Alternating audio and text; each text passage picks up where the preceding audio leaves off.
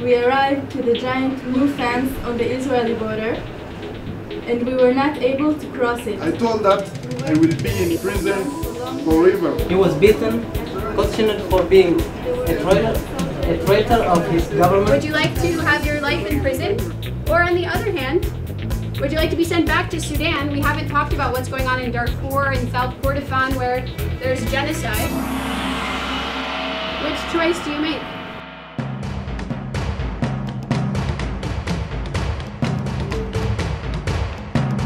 נכנסנו כאן פליטים ישראלים ובינלאומיים כדי לקלוט פוסטרים על כל העיר, פוסטרים שמספר את הסיפורים של האסירים, שזה בעצם uh, קמפיין שמתחיל עכשיו, לשלוח מכתבי סולידריות לאנשים שנמצאים כעת בכלא.